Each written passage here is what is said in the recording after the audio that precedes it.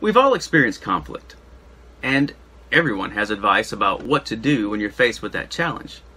But do you know the best way to handle conflict, or better yet, how to prevent it in the first place?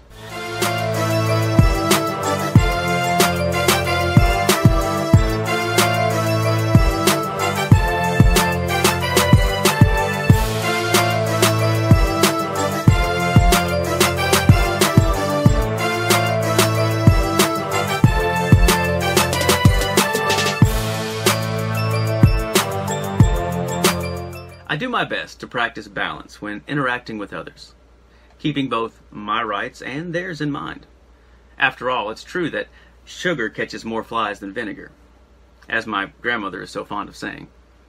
Be that as it may, in personal and professional spheres, conflict is frequently unavoidable. You may have heard, all is fair in love and war. But wars are lost by overzealously committing to a trivial battle.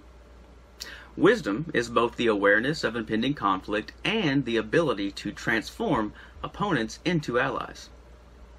Think of communication options as a continuum. On one side, you have aggression, and on the other, passivity. Aggression is an attitude of superiority and dominance. It does not consider the views or needs of others. It knows only that it must crush the person or situation standing against it by any means necessary. Simply put, aggression says, I win, your rights are violated. Forms of aggressive communication include closed posture, harsh voice tone, sarcasm, shouting, and disregarding other people's perspectives. At the other end of the spectrum, you have passivity. This is not to be confused with pacifism, which is the belief that violence is never acceptable and that peaceful solutions should always be sought. This noble view is defensive by engaging conflict through nonviolent means. In contrast, passivism is an attitude of inferiority and utter defenselessness. A passive person is either unwilling or unable to engage opposition. As a result, they capitulate to the demands of others and submit when challenged. The common colloquialism for such persons is that they are a doormat. Whether this worldview is bred of low self worth, damaged ego resulting from past abuse, or fear of retribution, the result is the same. Passivism says, you win, my rights are violated. Forms of passive communication include timid posture, averted gaze, soft tone, low volume, and easy submission to the demands or requests of others. Positioned in the center of this continuum between aggression and passivity stands assertiveness. Serving as a balance point, it does not allow others to violate one's rights, but it also does not compromise the rights of others to achieve what it desires. Assertiveness says, we win. Our rights are respected.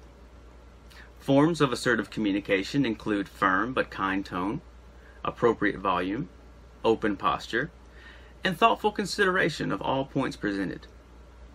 Communication is not an ability granted at birth, obviously. Just as children must learn to speak, they must also learn to effectively socialize and communicate their needs or wants. Sadly, we often assume that as adults, all people can communicate. This is simply not the case.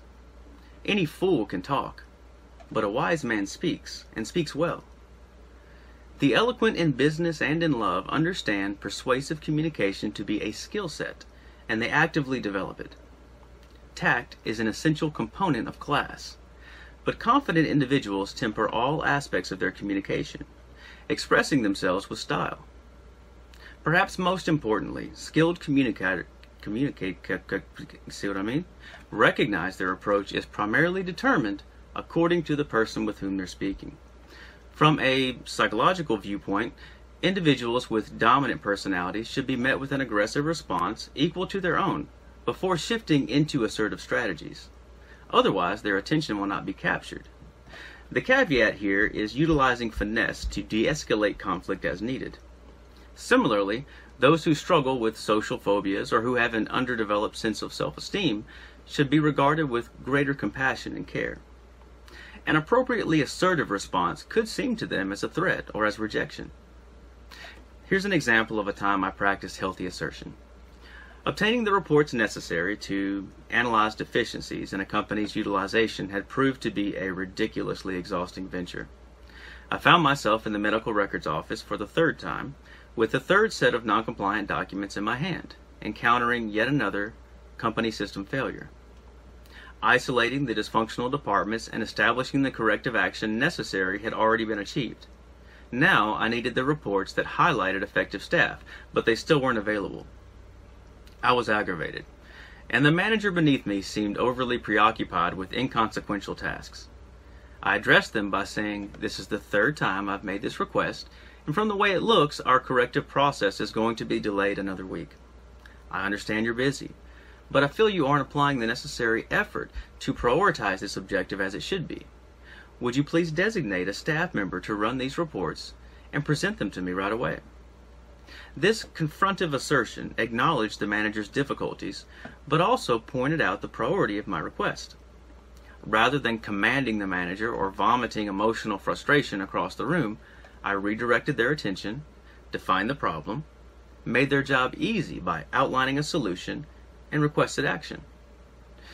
The use of I verbiage helped to relay my feelings instead of resorting to you verbiage. For example, you always waste time.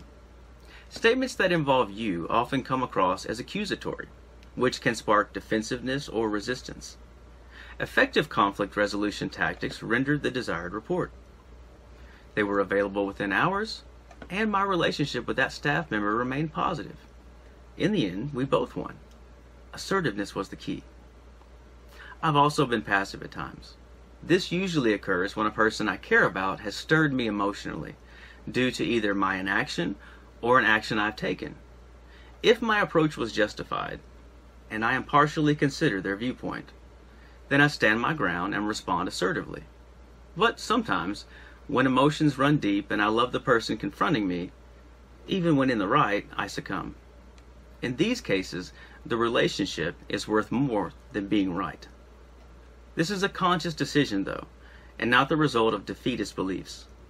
Similarly, a passive response is warranted if you were unwilling to accept the consequences of challenging another's stance.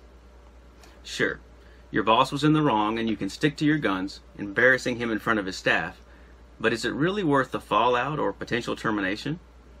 Wisdom knows when to fight and when to fall back for another day.